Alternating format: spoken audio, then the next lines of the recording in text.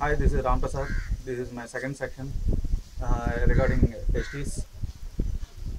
Scheduled tribes, uh, uh, regarding um, scheduled tribes. Scheduled tribe uh, having so many benefits. Scheduled tribes having so many benefits uh, in paper only. No one can know. Here, so many tribals, nearly six to seven hundred people are living in this uh, Gollamandala Tanda. Nobody doesn't know a single scheme also here. And if if at all the scheme is uh, uh, they knows also due to the local political leaders, uh, they do not avail this uh, scheme. Uh, in uh, this panchayat, it is in panchayat undertaken.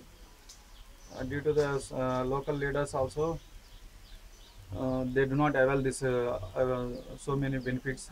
They are only in papers. Uh, they are only in papers. I B ramprasad Naik uh, from Girijana Sankshema Seva Sangam uh, as a secretary, Krishna, and uh, uh, Scheduled Tribes Youth Development Welfare Association President, Krishna.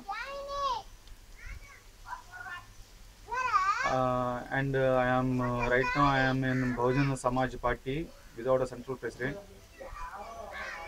I just just study these uh, uh, regarding this uh, Gollamandala Tanda.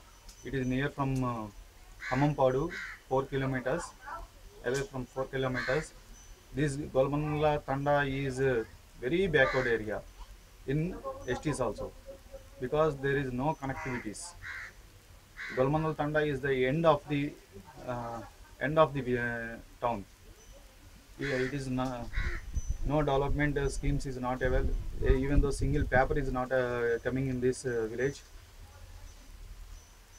Mm, it is near to forest area. Means in Telangana, these the like these tandas they are undertaken into ITDS, but in Krishna, nobody is not caring about Gollamandala Tanda.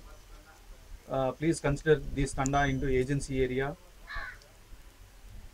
as a agency area and uh, give as benefits as uh, those are given to a- agencies and uh, uh, Spumarkonta and Repudi also there those uh, there also we have tandas but uh, those tandas are uh, uh, having connectivity road facilities and their land values are already increased uh, compared to our uh, Gollamandala Tanda. So in STs also Gollamandala Tanda first